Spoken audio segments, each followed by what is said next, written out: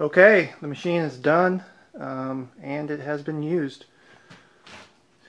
As you can see, I've got an 8 foot walnut board on it right now. There's one of the mortises. And I just supported the other end with a roller stand.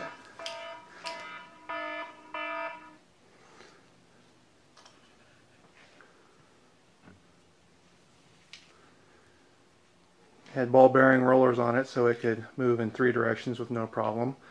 Um, final things I need to show you. Uh, this is how I finally worked out the fine height adjustment. I just stuck the uh, threaded uh, knob on the bottom, built this L-shaped bracket to hold it. It pushes up on the bottom. I did put a piece of steel here where it makes contact so it won't wallow out the uh, plywood. Um, the router attaches the same way it used to. The final thing is uh, my hold down fence. Um, it's got three hold downs. There's my stop block for repeated cuts. This is my main hold down and just a smaller one. I do have another one this size coming. Um, it hasn't arrived yet. I do want two of this size on here just to um, make sure I get a good solid hold down. Um, just move this out of the way and show you how this works. Um, all I did was drill through it, put some knobs through.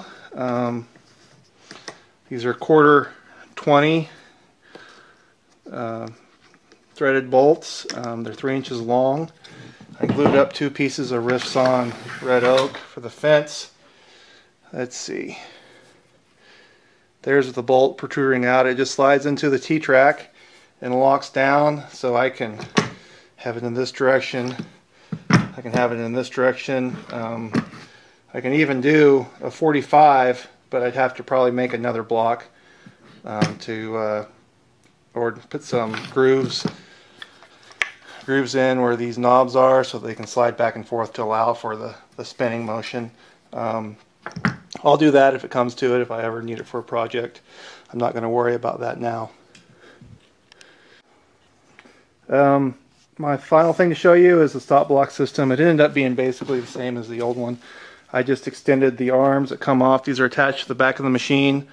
Um, same type of blocks. The machine just slides up against it and stops. That's how I limit my travel to limit the length of the mortise. Um, Nothing special about it. I was hoping to move them somewhere else so they weren't sticking out off the sides. I didn't come up with anything. Um, I didn't have any bright ideas. If you build one and you come up with something better, post up a video and share it. Um, I'd like to see what you come up with. I'd love to see somebody else's machine that they built. Um, that would be awesome. But that's it. That's all I've got for mine. There it is again as I showed you before and um, I found out by actually running these eight and a half foot long two inch thick um, walnut boards through it uh, it's much more rigid than the old one and that's the number one thing I was going for. Um, it's night and day different. The other one was fine for small projects. It got me through a few things. Um, this one feels like an actual machine not just a jig that I slapped together Anyway, that's it. Thanks for watching.